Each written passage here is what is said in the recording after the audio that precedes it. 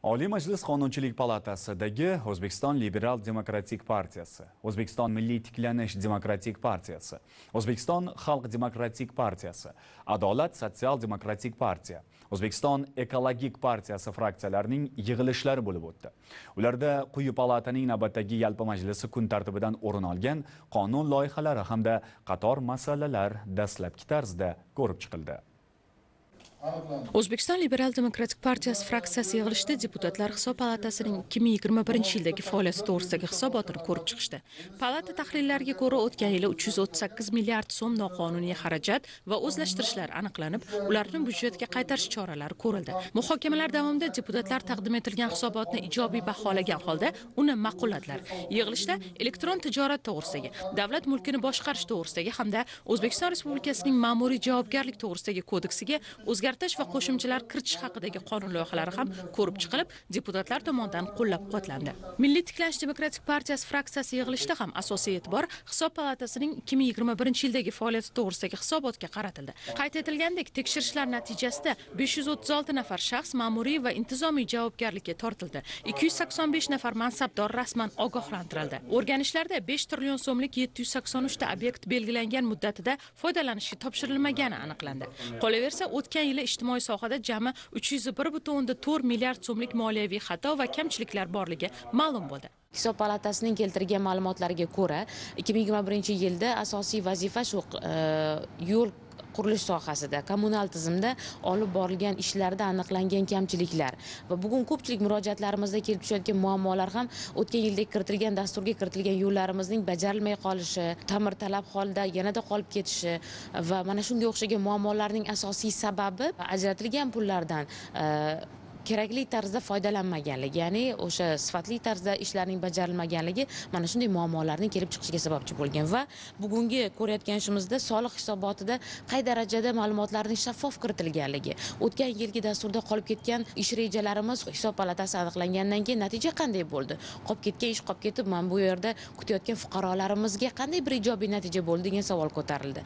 Va bunda o'tgan yilda bajarilmagan ishlar byudjet mablag'lari asosida o'zlashtirilgan pullar o'z joyiga qaytarilib va qisqa muddat ichida ularni bajarish e, sharti qo'yilgan. Deputatlar ushbu masala yuzasidan bir qator taklif va tavsiyalarni ilgari surishdi. Hisobotni ma'qullashdi. O'zbekiston xalq demokratik partiyasi fraksiyasi a'zolari ham dastlab hisob palatasining hisobotini eshitdilar. Shuningdek ular davlat mulkini boshqarish to'g'risidagi sud hujjatlari va boshqa organlar hujjatlarini ijro etish tizimini yanada takomillashtirish munosabati bilan o'zbekiston respublikasining ayrim qonun hujjatlariga o'zgartirish va qo'shimchalar kiritish to'g'risidagi tashuvchining fuqarolik javobgarligini majburiy sug'urta qilish to'g'risidagi o'zbekiston respublikasi qonuniga o'zgartishlar kiritish haqidagi o'zbekiston respublikasining ma'muriy javobgarlik to'g'risidagi kodeksiga o'zgartish va qo'shimchalar kiritish haqidagi elektron tijorat to'g'risidagi hamda sud hujjatlari va boshqa organlar hujjatlarini ijro etish to'g'risidagi o'zbekiston respublikasi qonuniga o'zgartishlar kiritish haqidagi qonun loyihalarini ko'rib chiqdilar. Elektron tijorat to'g'risidagi qonun loyihasi joriy yilda 12 fevralda oliy majlis qonunchilik palatasiga kelib tushgan.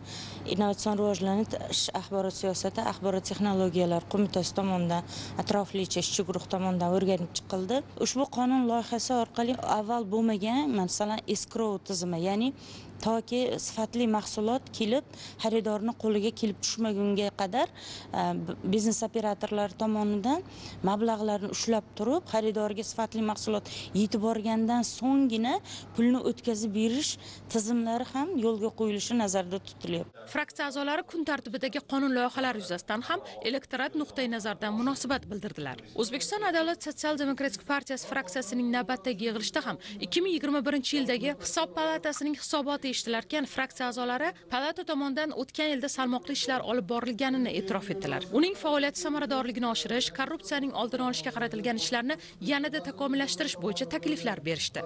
Xalq vakillari tomonidan partiya pozitsiyasidan kelib chiqqan holda takliflar munosabatlar bildirildi va kun tartibidagi masalalar yuzasidan fraksiyaning tegishli qarori qabul qilindi. O'zbekiston ekologik partiyasi fraksiyasining navbatdagi yig'ilishi ham hisob palatasining 2021 yilgi hisobotini eshitish bilan boshlandi. Qayd etilishicha hisob palatasi palatasi tomonidan 2021 o'tgan yilda davlat xaridlari jarayonida 763 ta holatda qonun buzilishlari aniqlangan. Korrupsiyaviy alomatlarga oid 41 ta nazorat tadbirlari o'tkazilgan.